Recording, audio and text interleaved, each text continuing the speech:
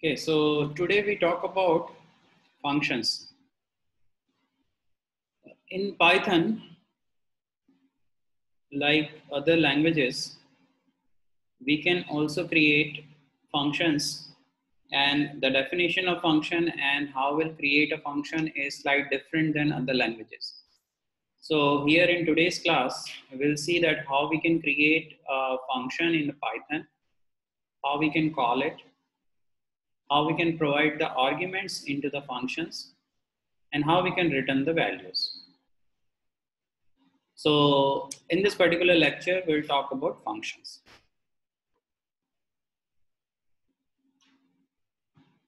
Now to make a function, uh, we need to use def keyword. This is for defining. If we want to define anything, we have to use def keyword uh, in the function. So it is very much useful in the function definition. Now after that, we'll write the name of the function. And then in the bracket, like other languages, we'll provide the arguments on that.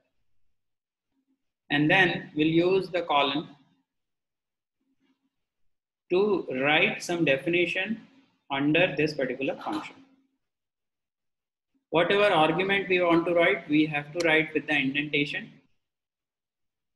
And that's all. This is how we can create a function. So it is a very simple way to creating a function. Now in today's class, we'll see different examples and we'll try to understand that how we can create the functions. Okay, let's talk about this. This is a simple definition of a function. Say hello. In this function, we doesn't have any argument. Okay. So if we are not using any argument, it means that it is, we have to keep it empty. We doesn't have to write void or something else, which we used to write for the other languages then colon and after that with the indentation we'll just write what we want to put inside the function. If we'll not write anything inside the function like this it will provide you the error. And it will ask you to write something inside the function definition. Okay? So we have to write something under function definition. So here we have written hello. Once we execute it, this function will be executed. And how we'll call the function? So we'll call the function with the function name. So we are calling the function with the function name because it doesn't have any argument. So the argument is empty right now. And then we'll run it. So it will give me hello, right?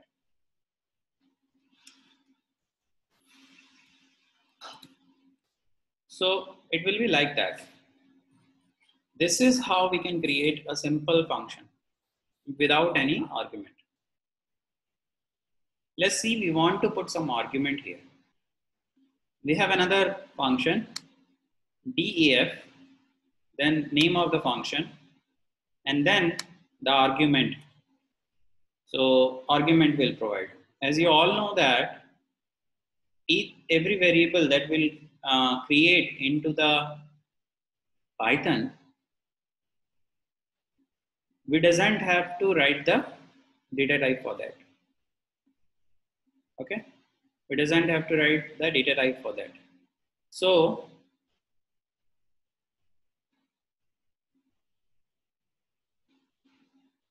So here also we have not written any data type. It depend upon how we are calling the function. Now then, we have the definition like hello percentage s. It means that we know how we can uh, concatenate to to uh, uh, string, right? So we are using this and then with the help of percentage symbol and that name, whatever name will come, will come here. Okay. So this is the definition of it. And this is how we are calling it. So once we'll call it with the argument, it will just put instead of name here this. To make it more simple way, let's do it with plus operator. So let's say if you have any string that you want to print and you want to print some sort of variable, let's say you want to print name variable. And we want, because hello is a string, name, let's say we are putting as a string. So we can do that, right? We can use plus. And then we'll call the calling of the function. Let's say we'll run it. You see, the output is the same. So about the function and how we are dealing with the function, uh, uh, sorry, about the string and how we are dealing with the string that we have already seen, right? So this is one way how we can do that. And this is another way how we can do the aggregation of the two, uh, sorry, uh, concatenation of the two, two string. Now this is about one argument. We can add some more argument if, if it is required. Now here, this is an example of how we can put the parameter as uh,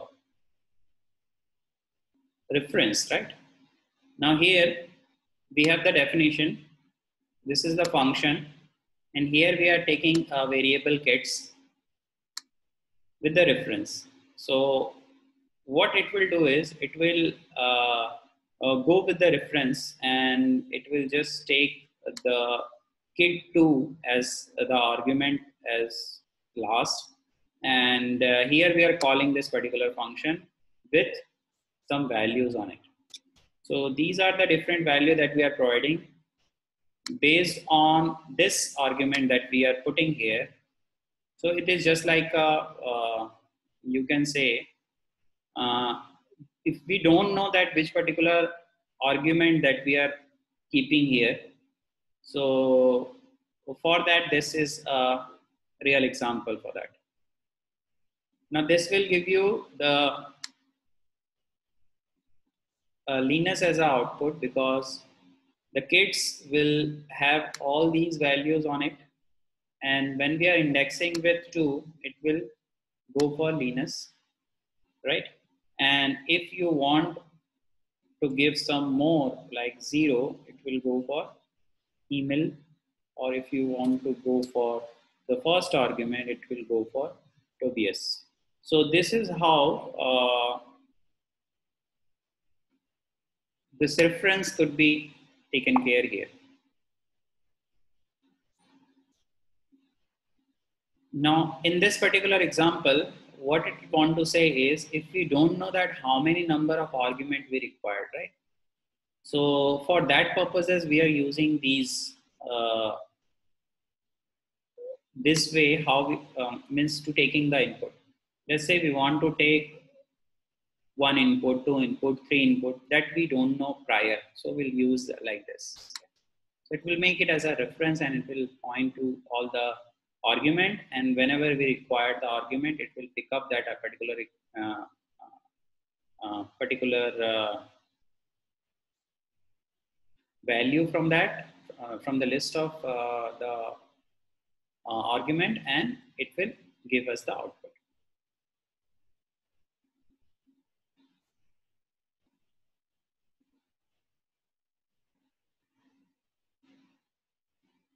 Okay, let's go for the return that how a function could return. So function will return with the help of a return function, return uh, uh, keywords. We have to use return keywords when we want to return something.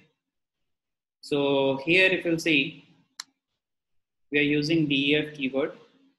Then we have a function name and then the argument. Now what we are returning, we are returning num1 plus num2, right? So here what we are doing is we are putting the values, either uh, numeric value or the uh, string value, whatever value you want to put, we can put here. And concatenation will concatenate it. If it is a numeric value, it will just add addition. If it is a string value, it will just a concatenation, make, make it as concatenation. And return will give you the value right? So just like here we are printing it, instead we are returning it. We are returning the value. So whatever value you want to return, you can return it. So this is your return statement. So here, first we are taking numeric value. Now we are taking the string value. So whatever value you want to take, you can take.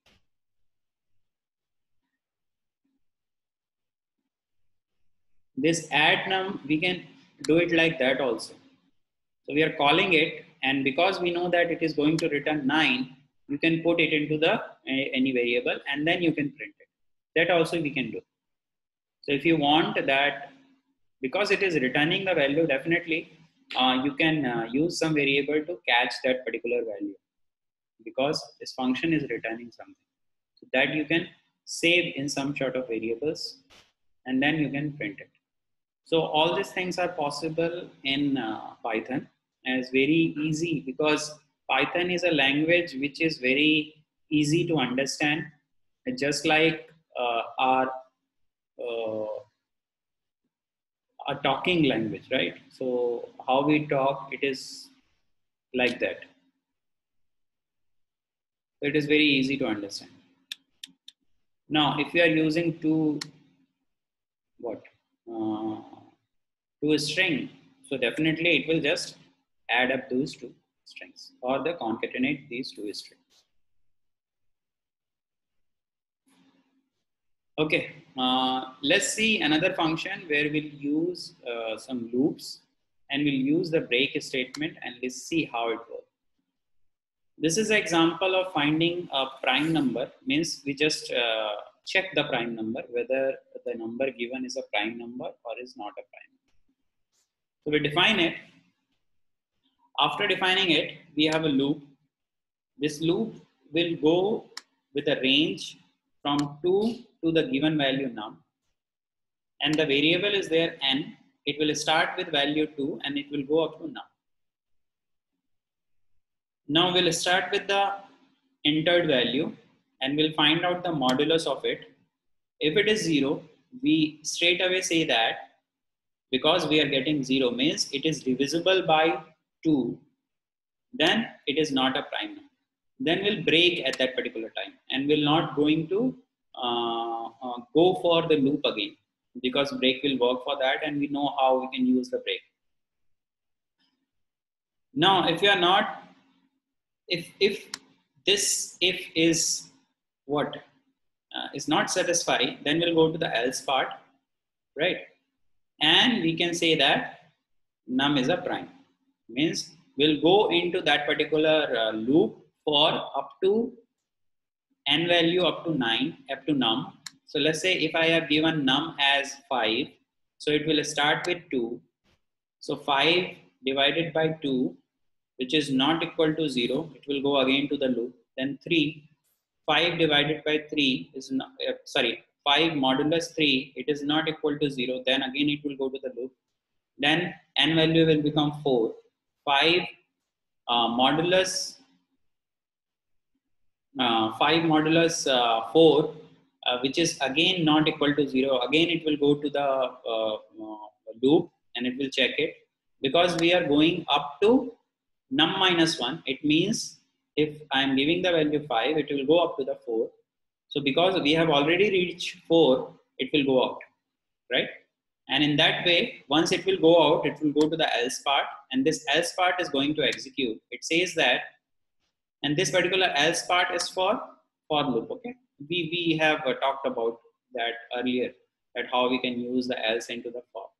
So if it is not satisfying then it will go to the else part. And it says that that num is a prime number. Means it is not divisible by 0 to n minus 1 means definitely it will be divisible by itself so in that way now we'll just execute it so the first one is 16. We know that 16 is a not a prime number because it is divisible by 2, divisible by 4, divisible by 8, right? Uh, in the same way, if we are giving 60, 17, we know that it is a prime number and it is giving the result as 17 is a prime. Okay. Note how else line up under for and not for if. So as I told you, this else is not the part of if. This else is the part of for loop. And we have already seen the example related to this. Now the same program uh, can we do with uh, other uh, logic. So this is another logic how we can find out any number is a prime number or not. So for that we have imported a class of math and we try to use some functions related to that. So this is uh, the math uh, class object that we have imported here. Then the definition is is prime. Is prime we have seen earlier, so it is is prime 2. Then we are putting the argument here.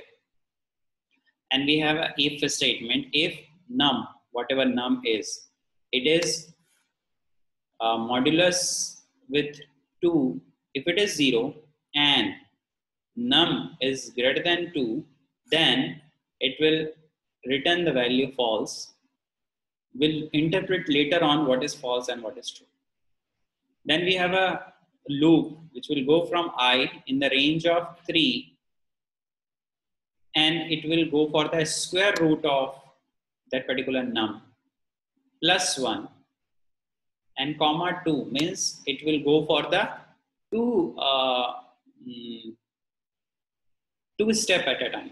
The range will go up to two step at a time and it will go up to the square root plus one. Let's say if we, if we are talking about uh, uh, the value, uh, let's say 16, so it will not go up to 16. Instead, it will go to the uh, 4 and 4 plus 1, it will go to the 5, up to the 5. So this is also a way how we can find out uh, number is a prime number or not. Instead of going up to that particular number, we'll go up to the square root of that particular number, right? And uh, the logic is same. There is a modulus with the i. If it is zero, then we'll return false. Otherwise, we'll return true. So once it is true, it means that the number is a prime number. It is false means number is not a prime number, right?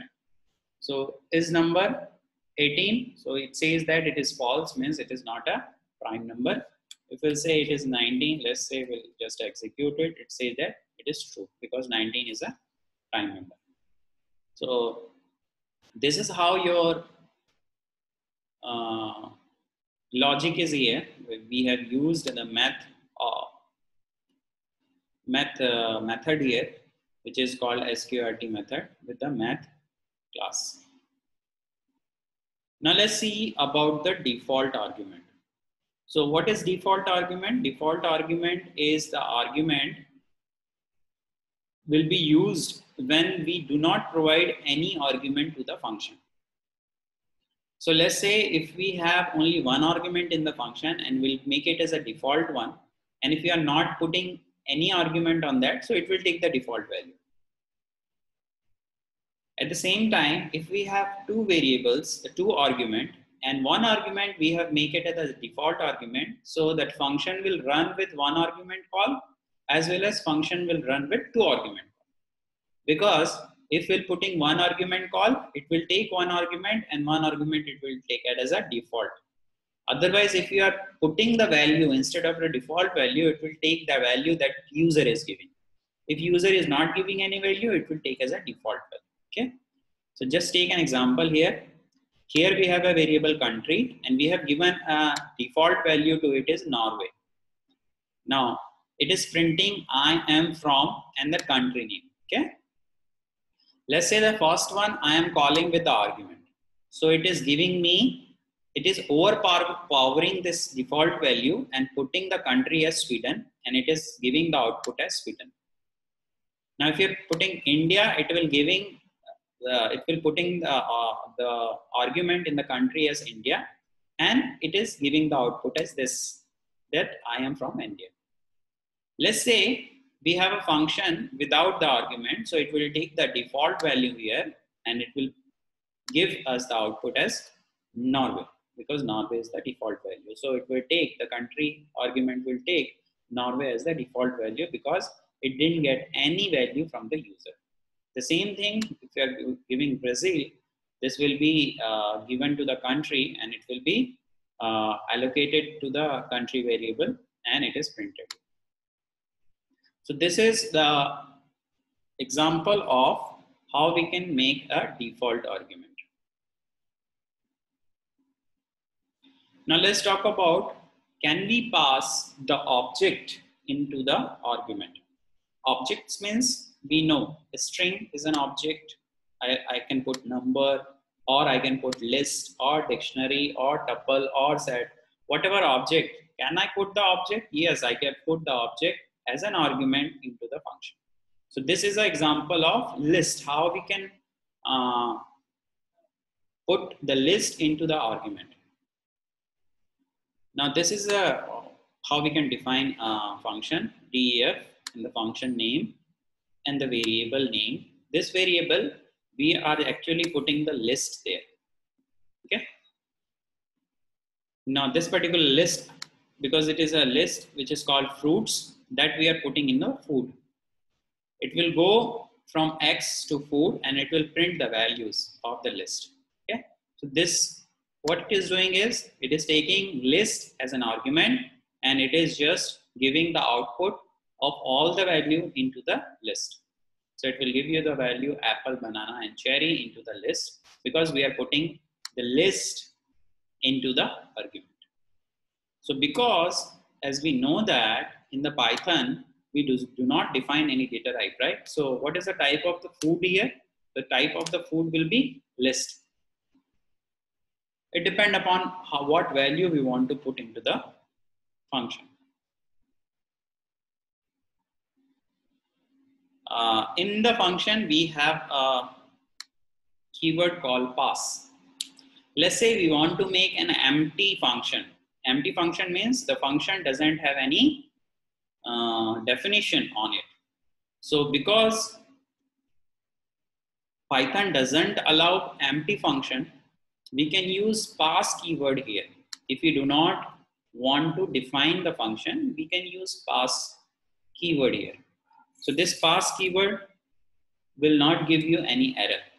It will not use the pass keyword, so definitely it will give you the error.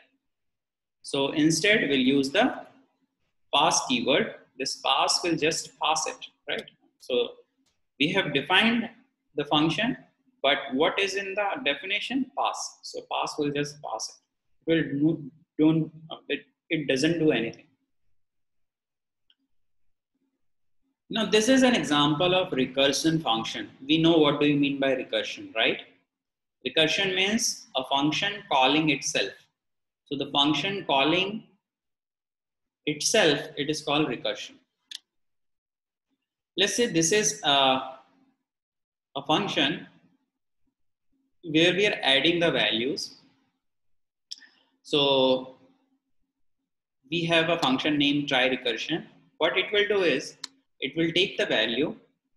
Let's say we are putting five. So it will add five plus four plus three plus two plus plus one up to k is greater than zero. So it will go up to one and it will just add up all the values. Let's say we are putting 10, it means it will add 10, 9, 8, plus 7, plus 6, plus, uh, 5, plus 4, plus, uh, 3, 2, plus 1. So all these things will be, so it will, how we can uh, define it, we can define in this way. So if k is greater than 0, then the results will be k plus try recursion k minus 1. What will happen here? Let's say I am putting 5. Let's say I am putting 5.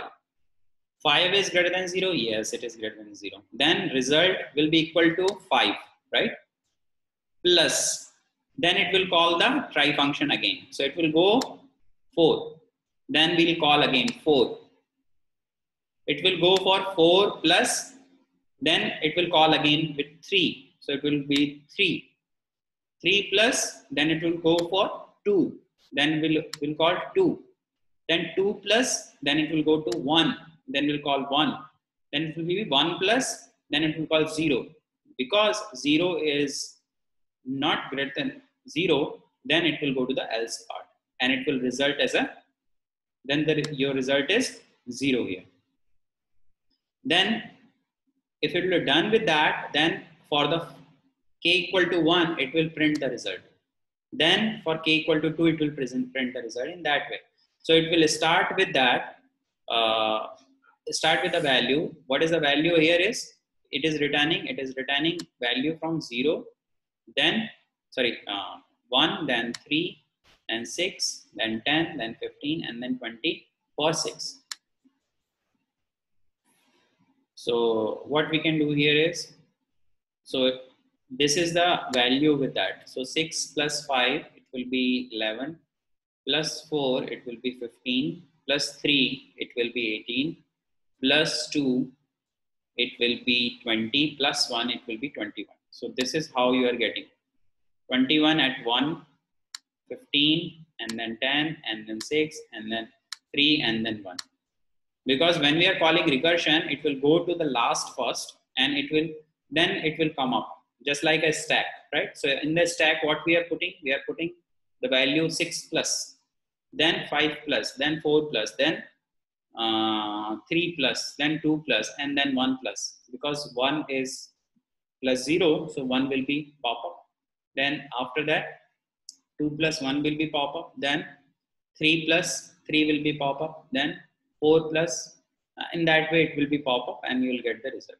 So we know that how we can handle the recursion. We have to handle the recursion with the help of a stack. So recursion also can be done with the help of a uh, with the help of the Python.